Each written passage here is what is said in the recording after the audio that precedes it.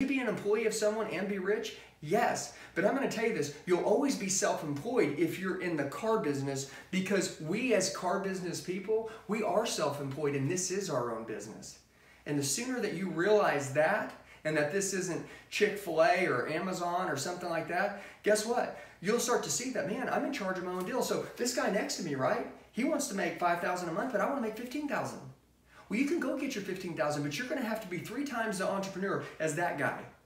But if you take the same steps that that guy takes, well, it's not surprising why you're not making more than the money he's making.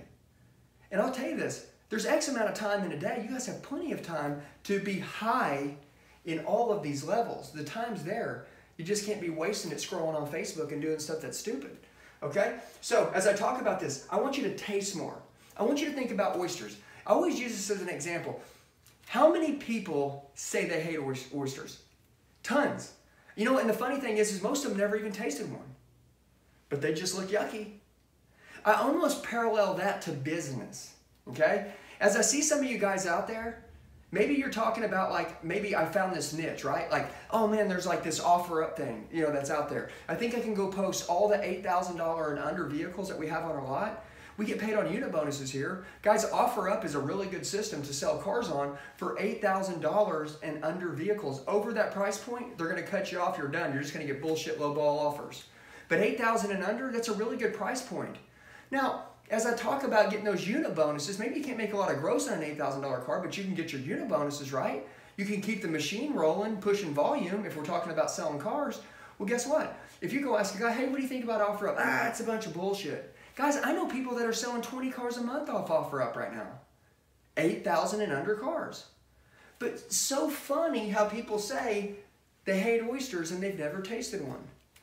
You know, I want you to think about that on what ideas that you've had in your life that maybe in the car business you're sitting there and as it's cold this winter, you're staring out the window and you're like, man, there's got to be more than this. There is. There is more than that. A matter of fact, I could give you 10 things right now that you could do that would bring you customers in the door left and right that cost no money. And I could probably give you one idea each. If I get a chance to meet you, find out your personality, what drives you, what's important. You'll notice when somebody texts me and they're like, hey, what's up, Andy? I just want to tell you I love your training videos. I always say, how old are you? What state are you in? If you guys are on the other end, you know what I'm talking about if you've reached out to me. Okay? And you'll understand why I'm saying that because I, I understand certain traits and patterns and behaviors of different ages. And my favorite text to come across is a guy that hasn't been in the business um, longer than two or three years. He's under that. A guy that you know has a lot of drive, um, but honestly isn't making it and can't figure out how to do it. I can turn that guy around 360, and all of a sudden, guess what? After one seminar with him, he's done. That guy's making 150, 200 thousand dollars and he's just changed his entire life. The answers were there the whole time, but he was around people that was just telling him no or no or no, or wasn't giving him the ideas. But guys, part of being an entrepreneur is this you've got to learn about money. I'm just going to tell you if every day you're not spending an hour learning about money, you're never going to have money. Okay? And I'll get to I'll get back to that here in a minute. Don't fear others' judgment. You want to talk about leaving money on the table? You know why you leave money on the table?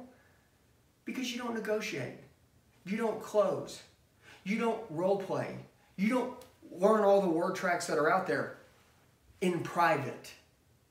Yeah, you do it with your customers when they're live on the lot, and then you try your best, but it doesn't work out. Guys, I want to tell you, what you do in private is what shows up in public. Do, do you think that the Michael Jordans, I mean, guys, I mean, just anybody that's good at business or good at sports or anything, do you think they just go out on the field and then once a week they play a game or once a day they go to play the game and then they just play better all the time? And no, man, what they're doing when no one's around, the stuff that you never get to see, you don't even understand that grit, that grind, that push, right? The way that they're telling themselves that, man, I don't care what anyone else thinks about me. I don't care. And if this guy's taking 10 jump shot, shots, I'm going to take 20. And if I find out he's taking 1,000, I'm going to take 2,000. And you know what? Just in case someone out there is taking 2,000, just in case, I don't know for sure, but just in case, I'll take 5,000 so I don't chance it. Man, I want to tell you, how many pieces of scrap paper do you go through a day before you go into work each day to sell cars, practicing role playing, re uh, rehearsing, recording videos of yourself, saying word tracks? Yeah, you know them, but you don't know them. Because I'm going to tell you, one bad word can take the word, can take the cell backwards and not advance it forward. So do you have error to say a bad word? Not sometimes.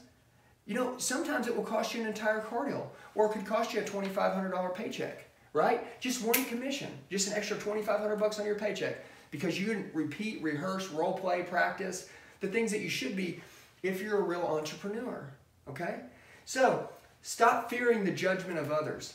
I, I sat there when I was in work, I used to watch training videos all the time back when I sell. And I would role play and practice, and I'd be going through scrap papers and stuff. And people would walk in, they'd be like, Man, who the hell are you talking to?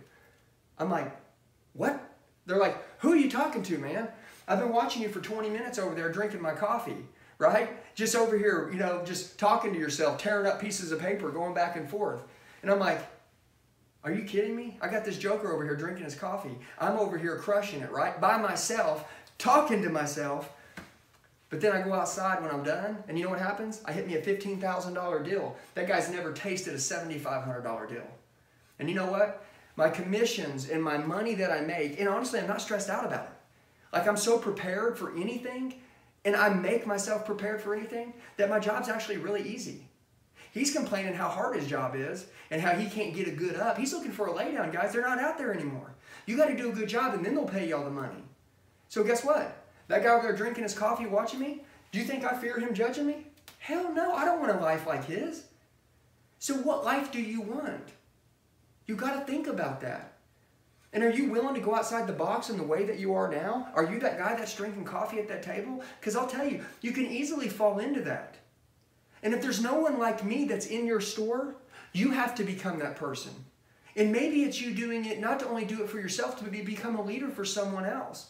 If you'll notice how much free content and training videos that I put out all the time, you know why?